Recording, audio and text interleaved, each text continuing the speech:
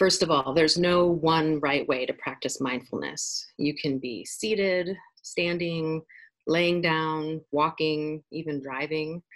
Um, so settle in to wherever you are. And if it's safe to do so and you're comfortable, go ahead and close your eyes. Otherwise, you can try this practice keeping your eyes open. So, first, as you settle in, bring your attention to your breath and just notice it. Just notice your breath right now. Notice how it moves in and out of your body.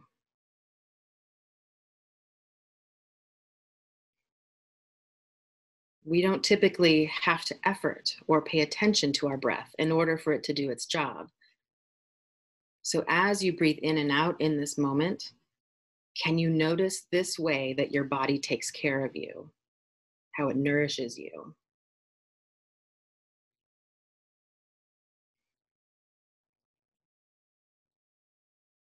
Say a silent thank you to your body and to your breath for all of the ways that it cares for you.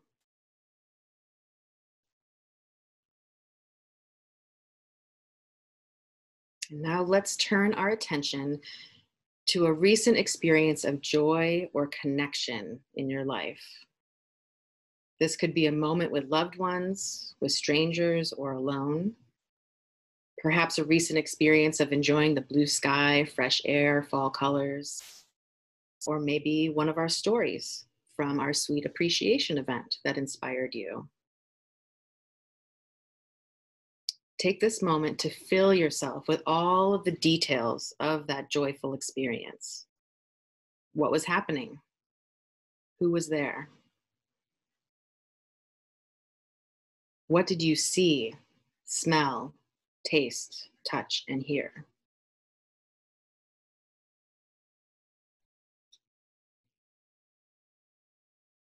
And what did you notice in yourself?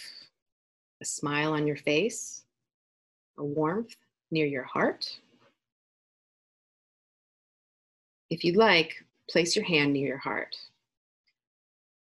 Sense the feeling of gratitude within you, knowing that you've stored it away. You've stored this experience to revisit anytime you'd like.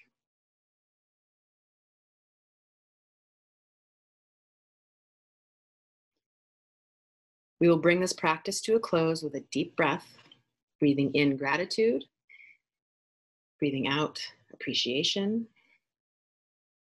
Slowly bringing your attention back to the physical space that you're in and opening your eyes if they were closed.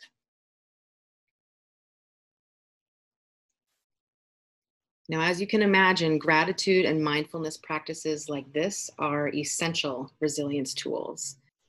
Pausing to truly notice and take in all the details of a positive or gratitude filled moment will help you store that experience in your long term memory and make it available to you when you need a feel good boost.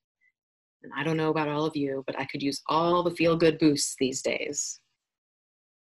So, thank you for being with us today, for your willingness to try this practice with me, and for your support of our work. Being with you here this afternoon is something I am grateful for. I hope you have a joyful day.